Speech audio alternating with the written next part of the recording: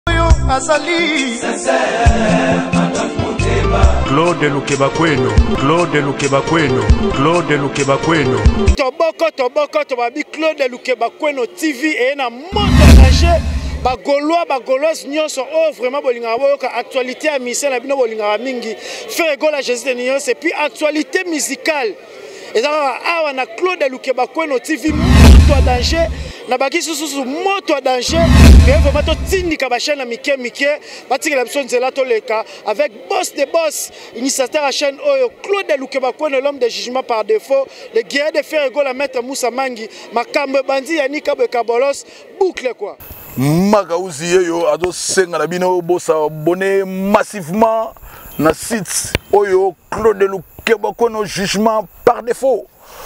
oyo mark ausa aza koloba awa yeyo awa ya ndenge adessin anime nango sikoyo donc abonne vous massivemasoki bolingi mpe naloba lokola grand prêtre marie paul sabonne vous nyonso mpe na sabonne na kati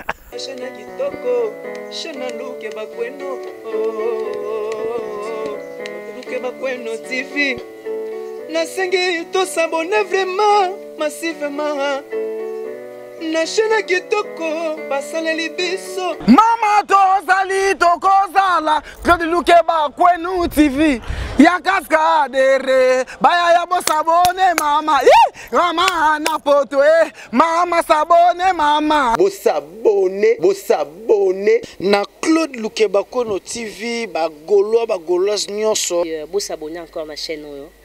Mpo nga mo mpe naza abonne à bosabone bagolwa bagolwaze bosabone na claude lukeba kweno tv donc nga na bino tosabone donc totuta to pena mosapi wana donc bimisa ti na cloche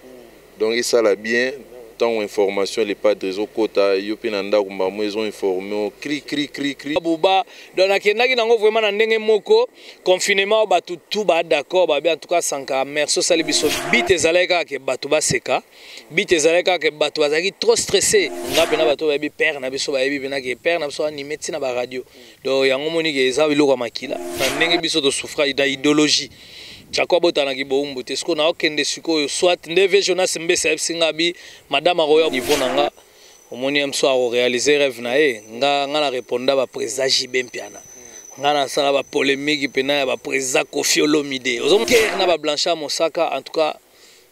Ba guerre wana lelo na ba orchestre moko tata ba loba loba na bango ata boko yamba bango ya sika eza te. Po biso sala biloko YouTube ekoma kokotela batu.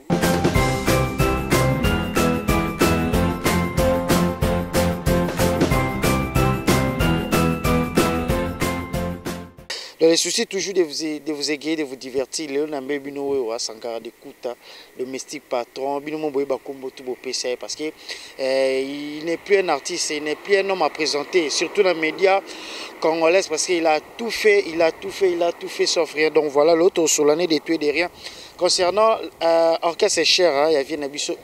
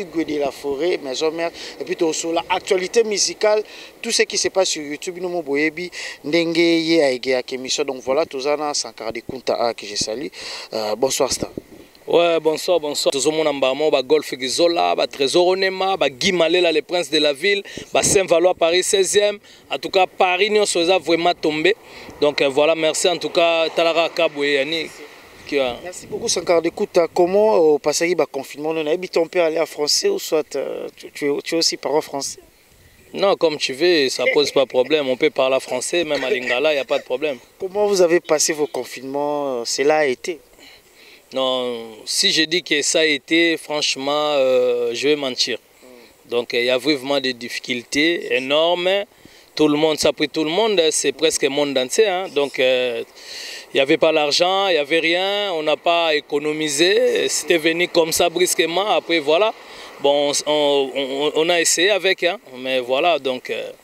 normal. Merci beaucoup. Toujours na biso dans la biso euh, Sankara de Kuta tout monde qui pendant confinement nzembo mo bosaki featuring na Yoro Yoro ya Congo Yoro Swek vraiment ezaki bien aussi pendant qui batu batu ba s'attendre na ngote mais toyebi obeta pe beta déjà ba featuring et tout depuis depuis même eloko wana osaki yo na idée nini idée nini bozalaki nango entre yo na yorobo kosala yango na temps ya confinement bon tout d'abord déjà ezalaki nanu mpo na komobilize nanu bato korapele bato ke ya vivement euh, la maladie oyo ekangaki monde entier en tout cas coronavirus oyo oh, lelo en tout cas pandémie oyo ndenge tozalaki wana bato ebele bakufi to perdre vraiment bato ebele partout dans le monde en tout cas eza vraiment mpasi so nga na yo tozo vivre boye en tout cas fo tosengaka nzambe merci mpo toleki baoyo bazwaki corona te toleki baoyo bakufi te mais na mawa nzambe yango esali ke biso lelo tozala na ngai na yo donc en tout cas paix à leur âme oyo ba nyonso baperdaki bafamille ba na bango oyo baza baetre cher mpo na bango en tout cas nzambe apesa bino moral nzambe asunga bino parceke toyebi makambo ya kokufela ndenge ezalaka atuka toloba kaka ke nanu mpe maladi yango esili te il faut respecte kaka bageste barrière epuis il faut korespecte kaka ndenge bato bazoloba kaka badistanciation epuis euh, bakache ne biloko nyonso malgré ngai na yaniki toza nango te mais en tout cas déjà torespecte te nanu tout d'abord euh, donc en tout cas yango moni euh, tolobaka ke Mpo na nga en tout cas maladi oyo eye eteyi biso ke il faut okangama na Nzambe parce que balobi Nzambe ndenge aza wana dans toute chose faut toujours remercier l'Éternel et puis dans toute chose faut ko se confier nde na Nzambe donc Nzambe oyo euh, a, a permetaki coronavirus ezala ye mpe motu akogarde biso ye mpe motu akobatela biso donc eloko moko elekelaka nzambe eza te so bato babi ke kisi eza te vaccin eza te mais mpo na biso kisi eh, ya bakisi ezali nzambe epuis vaccin bavaccin ezali nzambe donc mpona bato en tout cas bokangama kaka na nzambe nzambe ye moko ayebi ndenge nini akobikisa biso mpe akobimisa biso na kati ya pandemi oyo epuis deja tobimi deja dit amen esiko totala biso par la grâce de dieu en tout cas toza vraiment balongi toza vraiment na bonne santé merci en tout cas mais en tout cas bato tout bo respecte vraiment oyo oh, tout boza euh, déconfine en tout cas bo respecte bo respecte en tout cas c'est vraiment réel quoi tôt ou tard le dernier sera le premier andre mabusha lomali shakina actu boss de boss claude lukebakone l'homme de jugement tozokoba kaka euh, tofandi mpe kaka boye tomoni mpe acoustique acoustique ezalaki vraiment nga nakoloba yango acoustiquement trop comique osangisi banzembo ba iscor banani tusala tusala sankara de kuta pourkoi omema bato na système wana te déjà tout d'abord euh, bato bayebaka te ke biso nga naza ne artiste donc eza ya bomwana eza tobandi yango kala mais lelo en tout cas ntango ekomaki ke il faut bato nde bafandaki fandaki oyo basepelaka na babiso oyo balingaka koyoka biso mikome na moma moko ke maloba ekekale ozala porte parole ozala journaliste obanda koloba loba loba loba ti mokolo nini efalaki sikoyo kosepelisa bato na ndenge ya ideologie na ndenge ya miziki yamonisaka dekuta nayaki na bibon namoni bato ebele bazoswanaswana makambo ya bacoustique o oh, nini o oh, nini yango moni lokola tozwaki babiloko ya kointerprete bamusicien ndambo ndambo ekoma epa actualité me bato bayebaki te keza acoustique te parce que motu moko abeti na acoustique aza te na biso tu kolongola sauf personne mais eza kaka ke na style oyo toyaki nango na idée oyo moto abandaki déjà studio eh, biso nyonso mpe tokotaki bastudio toprépare tobengaki neti nga en tout cas je remercie papi kakol mpo ye moto abetaki drum et puis euh, ye moko mpe abetaki sumbunda papi kakol naza susu na euh, pardon euh, gb abetaki accompagnement euh, pardon masa euh, gino bas abetaki basse Thierry Senta beti sente et puis euh, tobosani te arrangeur na biso euh, Simplice Jazz en tout cas merci Simplice Jazz oyo a, a, a arrangeaki nzembo yango moni nga mpe nayaki naye koyemba bato basalelaki nga bakere parce que nayaki na besoin moment ya baréponse tout ça malgré idéologie ezanga musique ezanga etake artiste mais nabengaki café room asalaki intervention et puis nabengaki euh, euh, basele en tout cas Basele Arnold Basele merci ye mpe asalelaki nga kere epuis wangila artiste na biso oyo aza ndeko na nga euh, ndibwa mbanzangungu don ndeko na nga mondibu eh, mondibu do bana mbanzangungu bandibu nyonso napesi bino mbote do ayaki bayembaki basali nga bakere ma ideologie natalaki nga bi te nakobeta yango ndenge bato nyonso bakei na yango te fonaki na wana ndenge akisa yango bokai ba xor ba mosa vose monganga boyoki ba gato bivens na chaki ba heritie watanabe boss live na che ba ba ba ba, ba, ba ferigola na yembi ba fali pupa mon ami d'enfance trois fois hustle na pesi vraiment ba salam et puis félicitations na eloko ne bimi et puis euh, na yembi susu werason nasangisaki su président JB Mpiana nayembi su Koffi Olomide oh, donc sangisi batu nyonso nasangisa batu tu mm. Koffi na su koka kuku kotala eh, kuku eh, kuku kotala nga na photo te mpo na si na chance eh, wana nazwaki Koffi mm. JB nazwaki eh, amene moi ce soir Amida wera nazwi manunga mami mumila wa ye mageza kulesa ndembwe eh mwana oh, malgré nakendaki nango na eh, malgré nakendaki nango na ndenge na nga après euh, euh, gato bivin nazwaki mangaribi ya leyo sisi otetsu mungini kucheza kucheza lo nakendaki nango me bafandi batalaka boye mbala mobu xor le chéri oyo oh, oh, ya bafere ni baboba boba donc nakendaki nango vraiment na ndenge moko confinement oyo bato tu ba d'accord babi en tout cas sankara merci osali biso bien bit ezalaki kaka ke bato baseka bit ezalaki kaka ke bato bazalaki trop stressé eh, bakende mwana mwa eh, divertissement moko boye ke bafandi basepeli donc toza bato tocontribue na koseka bato epuis bato mosusu ekuta bango mpe malade eh. baseki parce que omoni koseka ezo contribuer na, na sante ya bato tout ça donc Euh, bref, eza que bato tout oyo ba, ba, ba sepesaki bato. En tout cas, moi aussi je, je, je fais partie na kati ya bato wana nyonso, mais sauf kaka ke nga babi ya nga nde modelekaki ya bato nyonso wana ngai te eh, babi ya ngai eleki ya bato tout mm. parce que namonaki mpe euh, euh, Karine Mokonzi mm. abetaki acoustique ezalaki bien, namonaki mpe euh, Hans Lozolo mm. abetaki mpe ezalaki bien ozomona babiloko mosusu ezalaki bato basatandaki na bango te mais baye kobeta vraiment donc eza eloko moko j'encourage tout le monde apesi bato tout merci oyo babetaki bacoustique eza vraiment plaisir makasi eza plaisir makasi sankardukuta bato liboso bakojuge trop agressif trop boye mondire ces dernier temps olinga su kosokipe na bapolémike inutile te tomona lisu te sankara aleka peut-être arépondre na bandenge bo ndenge ezali liboso otie totie eza ni maturité ou soit bato mosusu baoba mpo okoma peut-être mbongo misusu baoloba boye soit eza kaka yo moko olinga ko s'éduquer dans ce genre là non disons euh, nde tozalaka boye bato ebele bayebaka te toza na bapersonnage ezalaka ebele yo ndenge oza boye euh, kabwe nde ozosala émission yebango ke eza ndenge moko te so kamera eza te ndenge siko vino sikoyo réel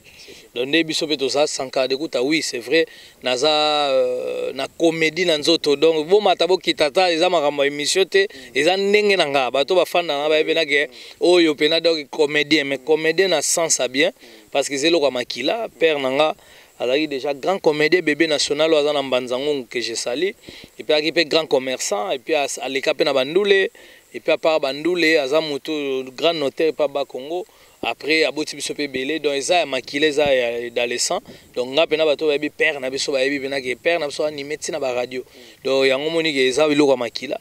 ntango toyaka nango sikoyo osala malgré comédie mais kibomoto mpe ezali na bato mosusu bayebi nga bamona ke nde nasunga babato bamona mpe ke no oh, motu moko tomona ke bato eh, mosusu bamona oh, motu aza liboma Eh, moto oyo te wana kutu nano te naloba na sense nini bato bayebi face na ngai mosuku kashe batali mpe nake mpo moto aza liboma jamais na omema bato nde na mema bato na poto mpo moto aza liboma de aza moto akoraisonne te vi na ye bon wana eza bano deja ngai moko na ndenge deja calcule na kisasa na bake non jamais nakobota na kine mpo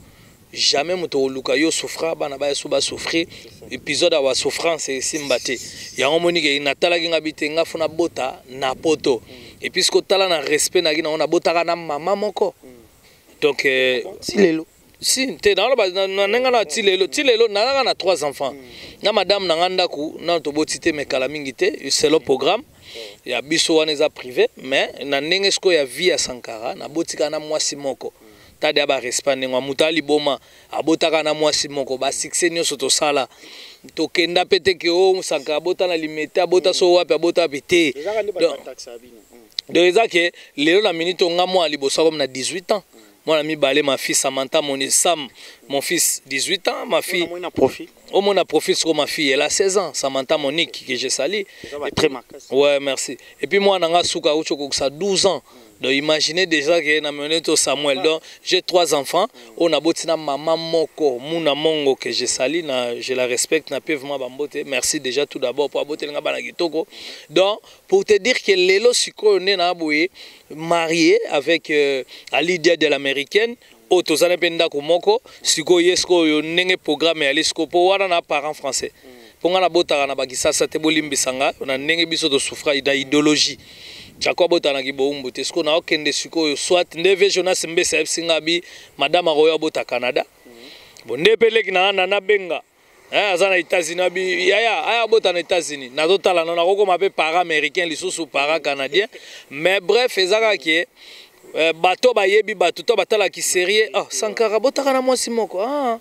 batali lisusu ah Sankara meme bato na poto te maza liboma te donc bakomi ko découvrir face cachée yango moni na face cachée na nga omona ke nakoma osala na ba, ba, ba disons na kota na makambo eza ya humanitaire oyo eza ke na banda kosunga na lombre na banda kosunga na cachette nasunga bato teleme ebele mpo vi na biso tokolaka bongo na motema ya kosunga mais eye kosala ke naya kosala siko page na nga sankara de coute officiel nakoma kosala baappel défense oyo nakutani na cas moko oyo eza vraiment délicat oyo eza kaka ezosenga bato tosunga ngai euh, we ngai naza na ngai na eloko te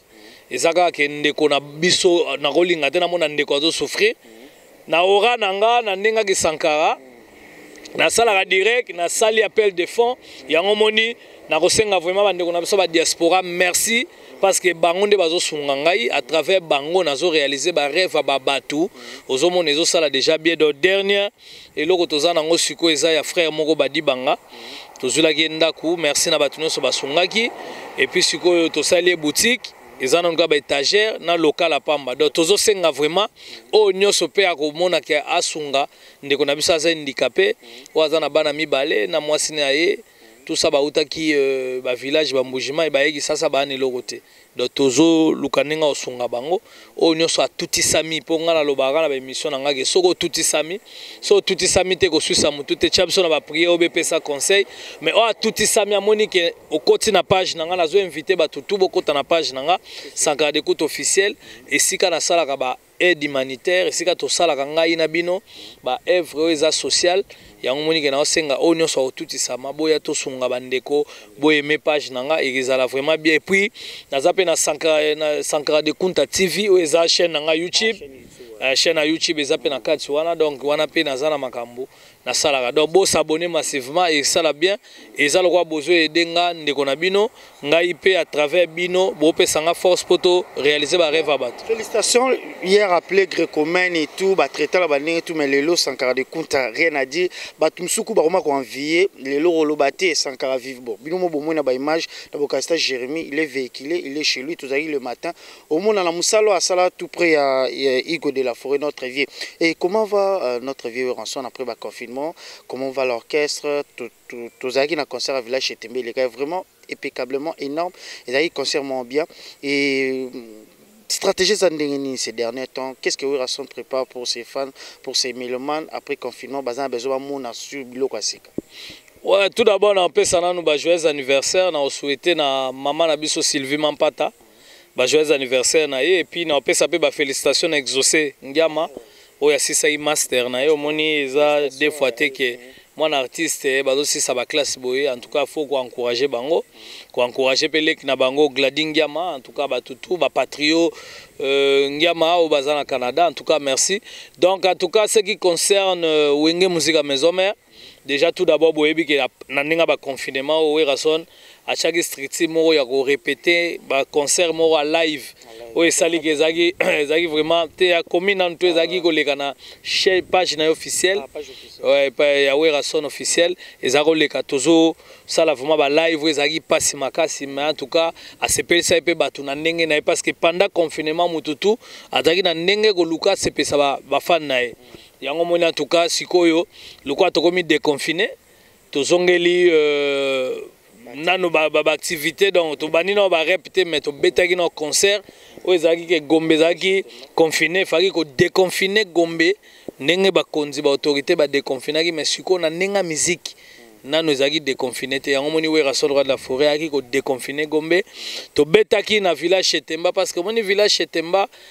banda bato babanda kobeta omona ke en tout cas nanu baplein oyo oh, wera wana asali na sale esanzi bato epuis spectacle parce que omoni moto akofuta biye ma ya sepe na jaka miziki na bino te ayo nde be omona neti bozosala repetition bozoyeba mpena teke moto afuti mbongo na ye donc yango miziki eza na prix te miziki eza na spectacle bato bakoya bakosepela ou pas parce que wera son en tout cas merci parce que coup de chapeau mpo asali baspectacle oyo tomona na babercy bazenith bapalais de sport bacirque royal ye asali yango soko na kisasa donc bato tu bazalaki wana tuka tozalaki na baautorité ya minene tozalaki na baministre mais basi nde balekaki mibali na ebele mm. epuis werason alati kitoko taille ozo sentir que non deux fois te beauté na ye donc en tout cas deux fois te bato kutu babino chetemba taka chetemba monene mais chetemba telema yaki bloquer puis to de, to déconfiner salle wana na sens que bato nyonso bayaka wana babetaka bampiaka bato bayaka wana basalelaka mobulu bato bayaka wana tobi te to déconfine yango kai meshetemba abengi werabi euh, soki akotikeli wana abeta 6 jours successive totala na we parce que ekomaki moke mpo na niveau ya wera tokobeta si ba wera ndenge aza bo il a rien à prouver alomoni lelo ba Werrason rien à voir parce que ba stade de martyr ba Bercy ba Zeni ba salle de sport ti lelo à part ce que ba salle wana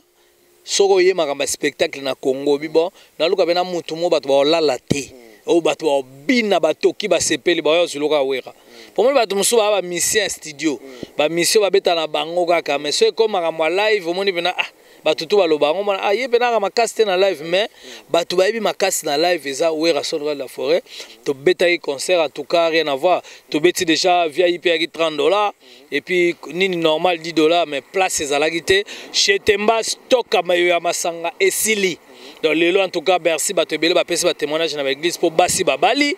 ozomonaka bato bazwi bamisala mpo bakutani na babo oui basi babali bato bakutapatron nde atuka bayaki na nzala wera yango mo lelo siko na minute oyo tozoluka nanu nde nini tokokommunike bato parce que baprogramme ya baconcert baseance ya ebele epuis ntango bavoleke ezonga fo tokende kofuta baniongo ya bacontra oyo toza na yango ebele oyo deja tosigna mais toza na choix te donc fo tokende konini bon ba comprena ye mpe panda makambo ba corona oyo sho eza te ma antuka chez temba merci na bato nyonso boyaki antuka tosepeli vraiment makasi hein? donc eh, tala kaka paul fikipo fbt misala nde azalaki wana epe apase nga mama tosoli na pele video atuka fo mona mwasi mama na biso bote naturel madame ya paul fikipo fbt misala nde en tout cas félicitation Merci beaucoup Sankara de Kuta tozo kende mais question oyo vraiment eza ezali ma demande ba fan ya Werrason ba yebaki na oyamba yo tolali pe kaka tolamuki tomoni ancien musicien papa chéri Bogis Mopemba ko tenir ba propos mon vulgaire envers votre patron oyo respectant oyo asalaki le Sankara zala ba poto partout mais Non, Toyoki Sankara alobi te, tozala na réseaux sociaux, toyebi ba propos tout nde elekaki. Ba misusu balobi ka mankaki respect, misusu balobi il est il est allé trop loin. Nayebi te Sankara de Kuta komona papa na yo ba taquiner bongo, nayebi te koloba nini par rapport à actualité yango ndenge ezali. Na niveau na nga wana eza niveau na nga te. Wana ba Pi Roger ba repondable wana ndenge wana ba le prince. Nga na niveau na nga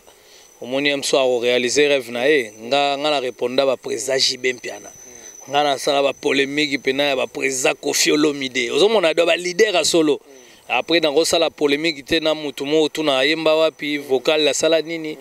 ye mosusu mpe aleki ya bato bakoyeba ye te na te na niveau na ngai nde nakorepondre ye te donc en tout cas akozwa chance wana te aloba makambo akoloba peu importe voilà eza motu na motu ayebi makambo nini azoloba et puis il faut bo comprendre mpe ke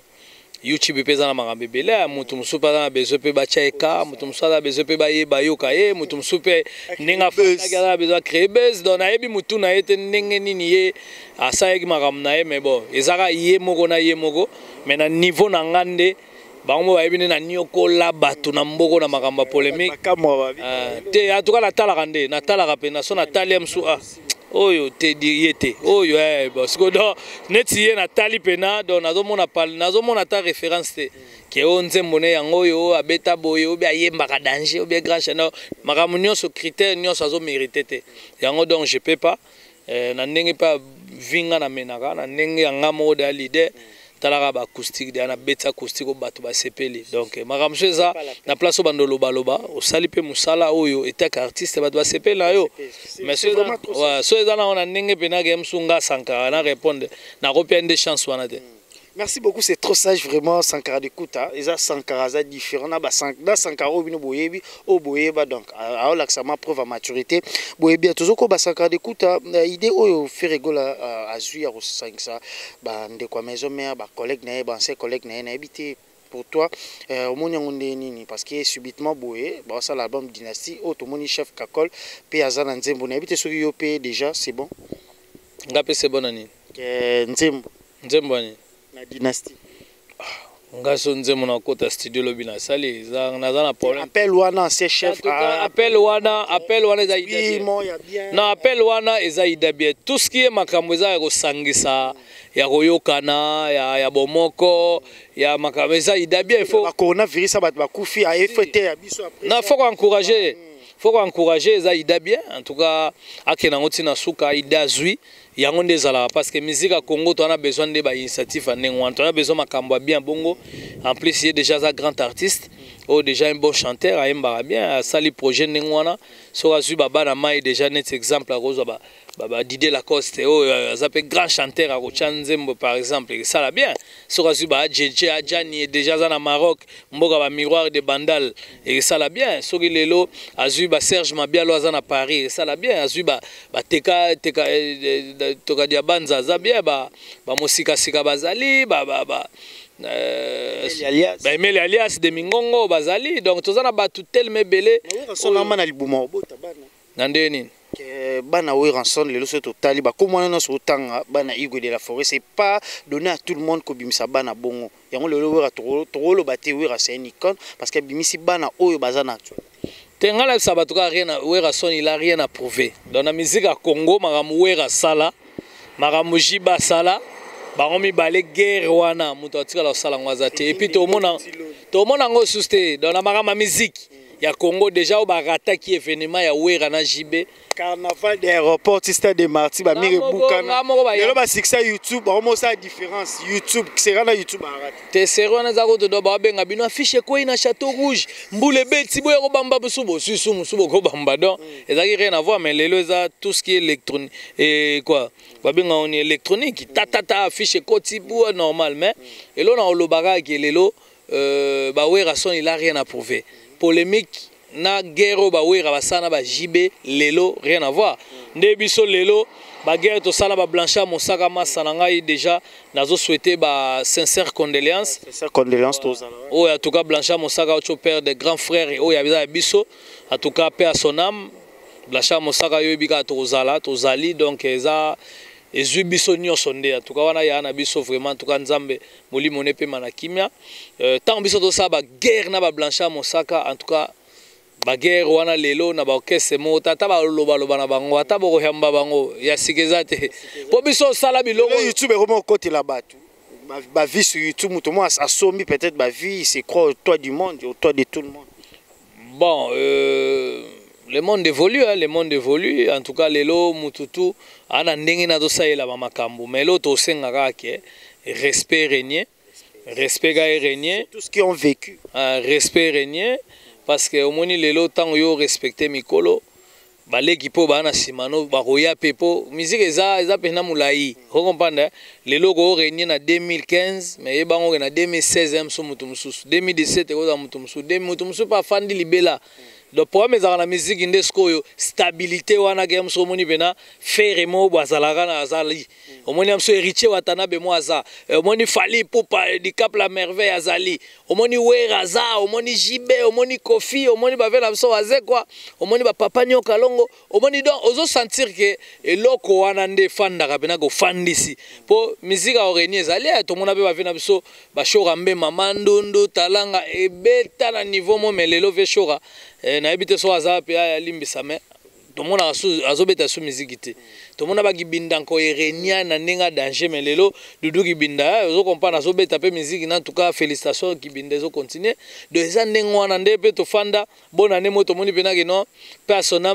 vie na biso mabele lisa kufi mais eloko wana cokoli lebela donc moto alekaki te donc eza makambo neti mo mpe boye dansa bapomba eh, bimbavu eh, donc tokopema mpe boye lobi dj mope eh, ba omoni biso ya maula moko ye likolo likolo likolo eberenie mpe bato babini donc eza kaka ke musique eza kaka chacun pour soi de pour tous donc il faut bato bacomprendre kaka ke musique towana besoin tofandi boye tomoni ya mosusu featuring moya mosusu ya fali pupa asali featuring moya mosusu na héritier watanabe bomoni ya mosusu ferre gol asali featuring moya mosusu na lacoste mm. bomoni ya mosusu euh, inosbi asali featuring mwa mosusu na robinio bomoni ya mosusu euh, euh,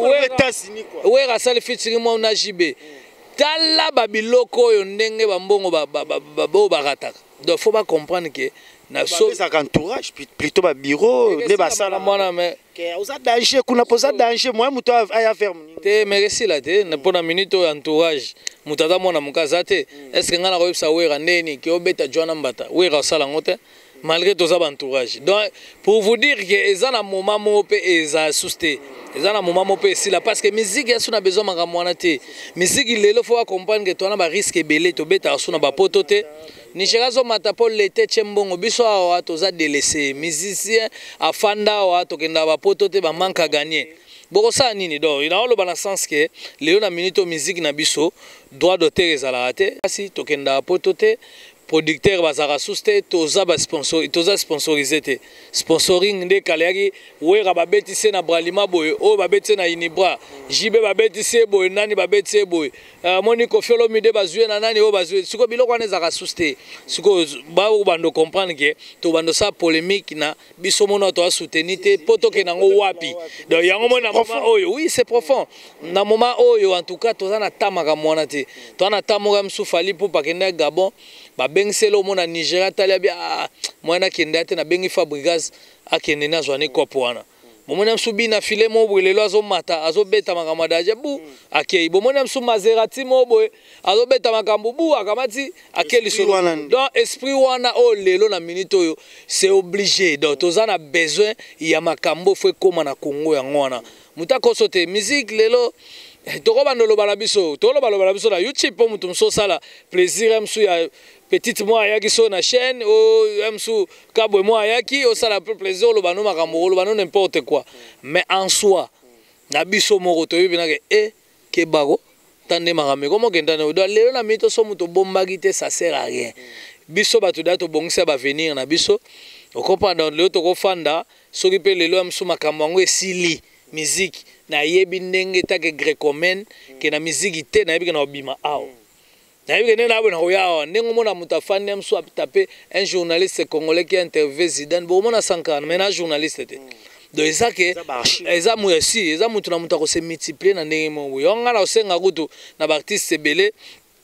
oyo bazwi bachance ya mosusu azala libanda oyo bakendaka balibanda ba aire yango akosala baformation bamosusu bakozongela bango mpe mwa baklasse mpo on ne sait jamais mpo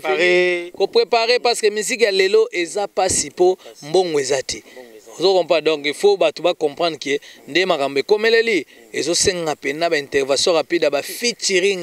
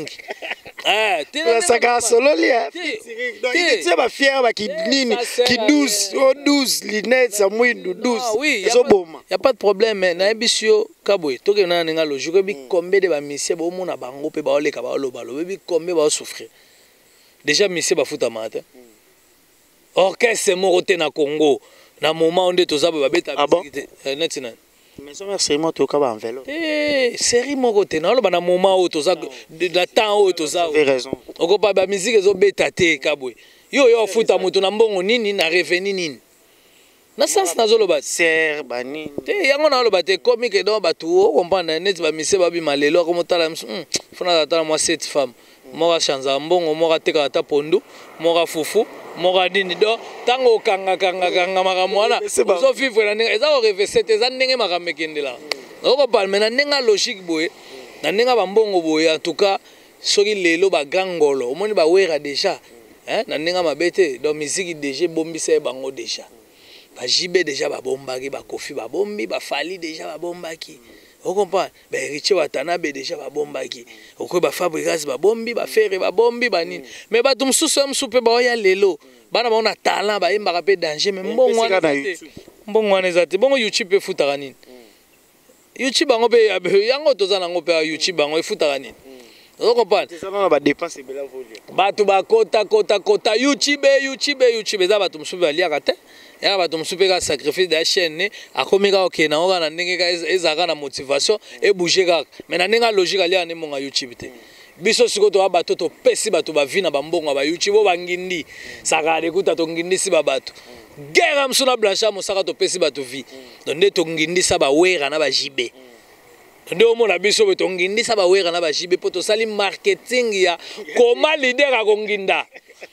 ti lelo nde bapemaka na so oh. afandi mpena bwata mpena bi baimmeuble oyo ya sankara baza mayele a ah, bamosaka ah, ezokopa de fo balider wana bajb na bawera ntango bapriaka batyaka biso mpe na mabondeli mpo toza bato oyo eh, ezaka biso te mai na bafanatike bafanatike ya bcbg basala jb bafanatike ya maison mare basali wera siko bango nde bazalaka na bapriere na bango mpo tolobaka mpe biso tya bango mpe na bapriere ah, balider oyo grace na bango mpe biso makambo esa nde bango mpe fo batya biso na bapriere na bafanatike ka tuka bato oyo mpena basoutenai ngai lelo nazwa misisa nakóma nde naza donc voilà merci beaucoup euh, sankara dekuta mot de la fin euh, koloba nini na ba euh, vraiment esali bien j'ai reçu un sankara dekuta intello intellectuel na ba réponse na ye je m'attendais pas à ça mais boye nde bien tosentir ma preuve ya maturité kaka ndenge ezalaka vraiment nous sommes pratiquement arrivé à la fin de notre émission sankara de kunta bafan ya maison mare bazozela yo bamelomane na bonne musique bafan na yo parce que oza na bafan na yo mpe oyo balingaka yo okoloba na bango nini premièrement concernant euh, orchestre chere ya vie na biso ego de la forêt maison mare lalalala bakozwa nini sur le marché et puis suite programme kaka ndenge ezala oui en tout cas werasana moto ya basurprise asala mpe label na ye azoproduire bamisi ebele epuis lelo nde toza boye tokofandaka alobi abimisi mpe eloko moko en tout cas bato bakontinue koconsomme formidable eh, oyo apesaki chance na bamusicien batiece banzembo babiloko ndenge eza wana tuka eza tellement kitoko ayembi badocteur ig malongi bayemba ba ba, ba, ba Papi Leroy, carte illimitée, ba Yembi, ba Golf Gizola, dégâts matériels, ba ma Claudine Kinois, ba Angelo Mbolo, ba Pichu Mbongo, les États-Unis, ba Nzembo wana nyonso eza ba tozaka oblige ba polémique à pam pam te, tozo oblige nde ba artistes na biso to pesa ba chance. Au copain, so Fally pour pas bimise loko na ye, to soutenir ye. Héritier Watana ba bimise loko ne to soutenir ye. Tomoni euh, Ferre Gola bimise loko to soutenir. Tomoni ba Lacoste, tomoni ba Mabiala, tomoni ba donc bato nyonso oyo baza na bamisi ya congo to soutenir bango ekesala bien makasi yango wana donc lelo so totali bajeune na biso barobino mundibu fo félicité bango totali bainosbi euh, fo félicité bango totali euh, babina file totali bamaserati toza na relève ya bamisi baza ebele mais so biso mo tobandi koluka ndeni tokobanda koetouffe bango